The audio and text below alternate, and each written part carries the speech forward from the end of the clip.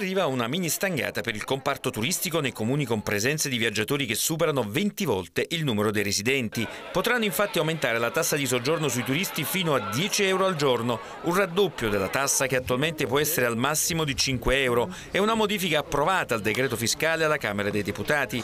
Per i paletti posti l'aumento non riguarderebbe i turisti in visita in città come Milano e Roma, ma quelli di località turistiche comunque conosciute in tutto il mondo come Sorrento, Jesolo, Cortina e Ischia e città d'arte come Venezia e Firenze.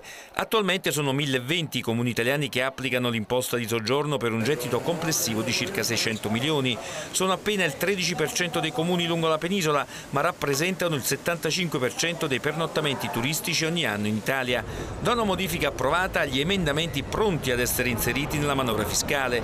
Compare così l'eco bonus sui rubinetti del 65% sulla spesa documentata. In pratica per quegli acquisti di rubinetteria sanitaria con portata di erogazione pressioni uguali o inferiori a 6 litri al minuto, soffioni doccia con una portata uguale o inferiore a 9 litri al minuto e cassette di scarico con una portata uguale o inferiore a 4 litri. L'emendamento non ancora approvato parla degli acquisti nei prossimi due anni. Dietro front poi per il bonus verde, tolto inizialmente dalla manovra potrebbe rientrare con agevolazioni fiscali per la sistemazione di giardini ed aree verdi.